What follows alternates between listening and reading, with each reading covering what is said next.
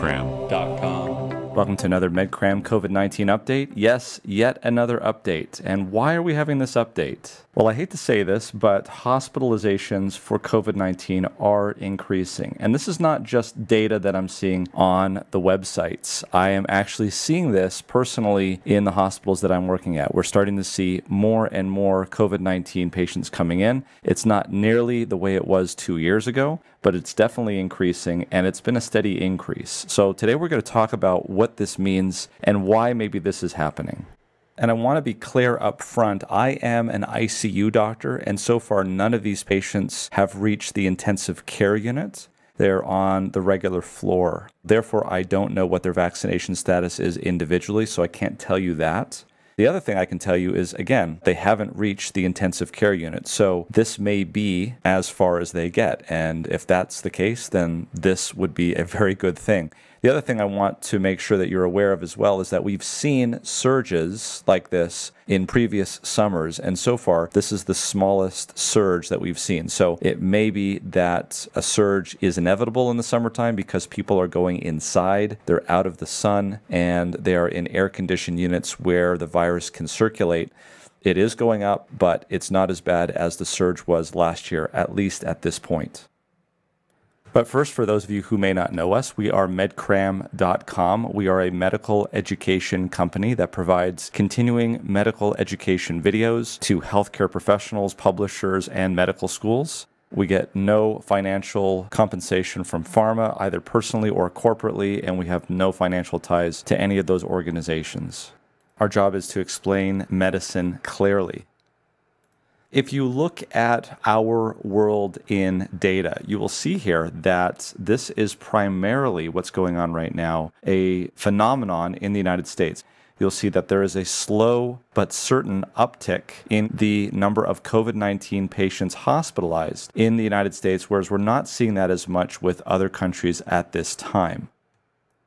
Here is a zoom in of that particular graph, and you can see here that there's a steady and sure uptick here in the United States. And that might be because we've got a new variant that is emerging called EG.5, unofficially termed ERIS, E R I S. It is a variant of interest at this time. It's a descendant of the XBB.1.9.2, but it actually has an additional mutation in the spike protein, and it definitely is in the subvariant of Omicron. This year, from spring to summer, this is how things have evolved. You can see here that XBB 1.5 was the predominant subvariant that's been getting less and less. And what's been getting more and more here in recent weeks is this EG.5, which was apparent even back in February, but has now started to grow steadily. So far, the information is it's no more virulent, which means it doesn't have the ability to cause more disease than previous subvariants of the virus, and that it's not exactly any more transmissible, but it is seemingly to be more dominant. Now, that is not shared by everybody. There are some experts in the world who are looking at this and are theorizing that perhaps this variant is able to escape immunity from both the vaccine and natural immunity even more than previous subvariants. So it's become a little bit more difficult to follow this because typically I would rely on my county dashboard, but they have stopped updating, unfortunately. And so what I am doing is going to the CDC website, which actually collates all of the county data and makes it available. So this website here on the CDC, which I will give a link to in the description below, shows you at a glance what's happening to hospitalizations in the most recent week. And as you can see here, it's gone up 14.3% nationwide. Total deaths have gone up about 10% nationwide. And you can see the past week's hospitalization records with COVID 19. And you can actually dig down and deep dive into this. Currently, the way that they have this listed is they have COVID 19 hospital admission levels in the US by county. And if there are more than 20 per 100,000, that's in orange. If it's 10 to 19.9, that's yellow. If it's less than 10, that's green. As you can see here, the good news is that most of the country is in green. There are a couple of areas here in eastern Oregon that are above. And if you actually just hover over it, you can see here that there has been, in this particular county, which is Grant County, which seems to be a hot spot here, there are new hospital admissions of confirmed COVID 19 in the past week, total of two which, because it's a rural county, is going to actually put it over the threshold and put it into the red. However, if you go to more populous counties, like the one, for instance, that I work in, which is in San Bernardino County, we have 109 new hospital admissions of confirmed COVID 19 in the past week. But based on that data, that puts it at only 2.3 hospital admissions per 100,000 population. However, what's interesting to me is that that's a increase of 47.3 3% in the last week. So obviously, I'm watching that very carefully, and it goes along with what I'm seeing in my personal hospital. So there's some validation there. So, anyway, this is a pretty good resource to check out where you are, where you live, and what's going on specifically. And you can see at a glance where the hotspots are right now. One State of the Union that I think has done a great job of being pretty transparent with the data is the state of Utah. And you can see here that they are all in green, but there are some increases and decreases depending on which county you look at. This is their dashboard, and I find it interesting because not only do they have a lot of data that you can go through, but they have it in different time periods. So what they have here is since September 15th of 2022, which is about a year. So about a year of data. What they've shown here in terms of hospitalization cases and deaths is the following the chances of becoming infected, hospitalized, or dying from COVID 19 in unvaccinated versus in blue, those that are vaccinated. That means two doses of the vaccine for the Moderna and the Pfizer, or one dose of the vaccine for the Johnson & Johnson, or in green, the bivalent boosted. This is since September 15th, so it doesn't tell us much about what this recent surge is doing. Down here, we have this graphically. Again, though, it's since September 15th, 2022. So again, it doesn't tell us much about what's happened in the last month. If you would like to have it broken down by age, we have that here going from 12 all the way up to 80 plus in terms of cases, hospitalizations, and deaths. Interestingly, they also graph it here in terms of weekly age adjusted case hospitalization and mortality rates. And they show you how they do that in the description on the website. Green is bivalent boosted and when that actually happened, and what the rates are in that sense as well. And one of the things I just wanted to mention to you is the definition of a unvaccinated case. Here they state on the website, a person who tests positive for COVID-19 and who is not fully vaccinated or boosted yet. This includes people who have not had any doses of a COVID 19 vaccine, those who have only had one dose of the Moderna or Pfizer vaccine, or those whom 14 days have not passed between their positive COVID 19 test and their last dose in a primary vaccine series. So it's possible that someone could have gotten one dose of the vaccine and not have gotten the second dose and have died in between those two periods of time and be counted as a unvaccinated death. However, the chances of that happening in the last 28 days are almost zero because so few people have actually become vaccinated in the last 28 days. Let me show you the data on that. So this is a graph again from our world in data that shows the number of people who have gotten at least one dose of a COVID-19 vaccine. As you can see in the beginning, it was closer to vertical than it was to horizontal, but now we've reached a period of time where it's essentially horizontal and there are hardly anybody getting vaccinations. Let's take a look in the last 28 days. And if we zoom into that here with May 10th, 2023 versus April 12th of 2023, so in those 28 days, there has literally been no movement on that line. So, if we're just looking at the last 28 days, the exceeding vast majority of unvaccinated cases are people who have not even gotten one dose of the vaccine. And that's important because this corona dashboard utah.gov website actually has data not just from post bivalent booster or even prior to bivalent booster, but it also has a tab here that looks at tabular data in the last 28 days. Let's click on post bivalent booster. That's since September 15, 2022. So obviously there's a lot of data here. We have it by group of age in cases, hospitalizations, and deaths. So let's first of all look at cases. And here we have the count and the rate based on how many people were vaccinated and not vaccinated in these groups of people. They then divide it into fully vaccinated and bivalent boosted, as they've done before. And what they have here is something called a rate ratio. So the rate ratio is simply the rate of the unvaccinated in this age group divided by the rate of the vaccinated in this age group. And so, if this number is greater than one, it implies that it is riskier to be unvaccinated in this age group. And if this number is less than one, it implies that it is riskier to be vaccinated, or in this case, bivalent boosted if it's over in this column.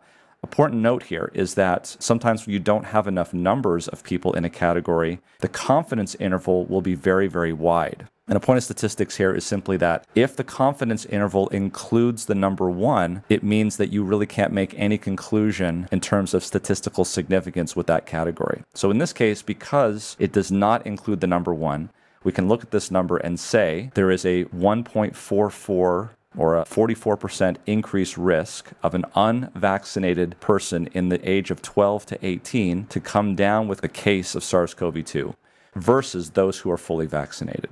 And the same thing here with the bivalent boosted. So you can see here what the rest of the numbers show, not only for cases, but for hospitalizations.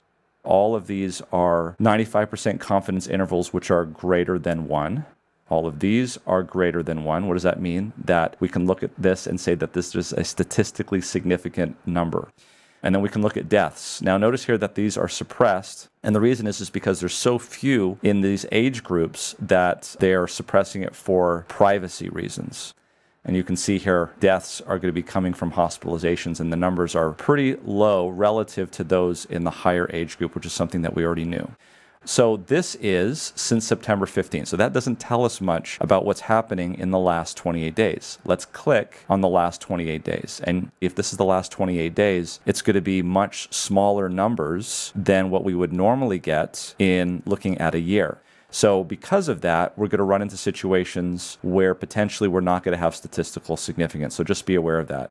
So, these are cases which you can look at, but what I'm interested in is hospitalizations specifically whether or not this resurgence of COVID 19 hospitalizations is related to vaccine, environment, the virus. And I want to see whether or not vaccination is still protecting people against hospitalizations, even in the last 28 days. So, again, let's take a look here at hospitalizations. So the first thing that I notice here is that we have a confidence interval that includes the number one. So I really can't make any sense of this line from 12 to 18 years of age. And notice here that the count is less than five.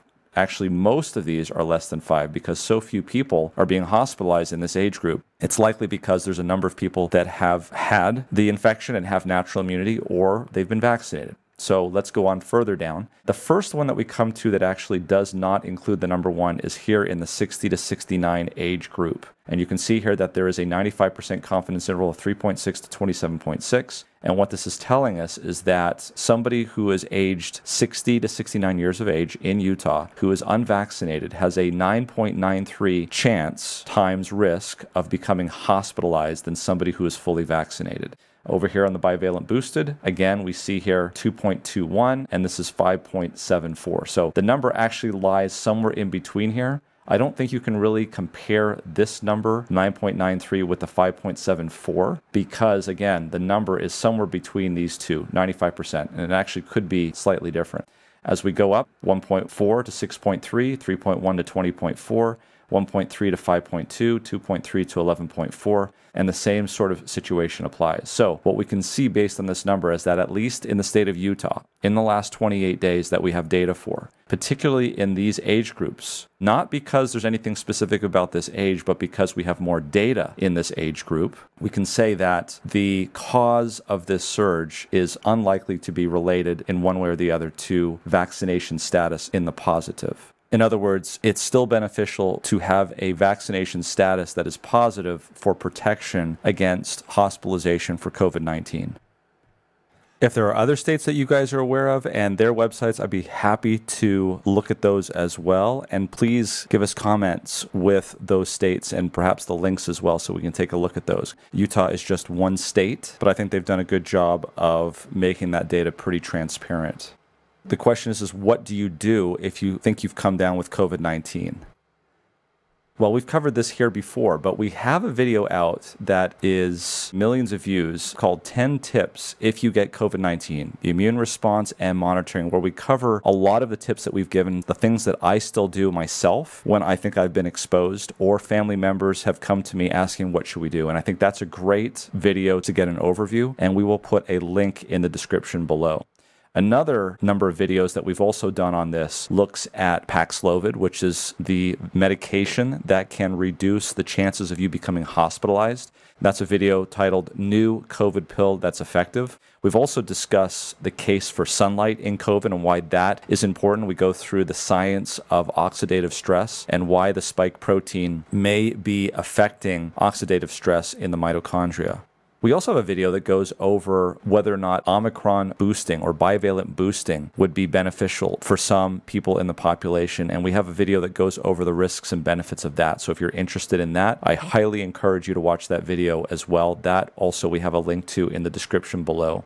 In addition to that, we also talked about very early on in the pandemic People have asked about hot and cold therapy, and it is true. The SARS CoV 2 virus suppresses interferon response. It's one of the reasons why it can evade the immune system so well. And one of the things that can increase interferon response from your own immune system is a hot cold therapy response that we talk about and show the science of in update 46 and 47, which has been published over three years ago. We also talk about, for those of you who have had repeated infections, long COVID and its effect on fat metabolism and the diagnosis and treatment of long COVID and what the science is saying regarding that. And for those of you who've gotten COVID 19 repeatedly, we also talk about why some get COVID 19 repeatedly in our video. So please look at the description below for links to all of these videos. So I hope this has been helpful. If you want to support us, please subscribe, give us a great comment, and importantly, join us at medcram.com where we explain medicine clearly. Thanks for joining us.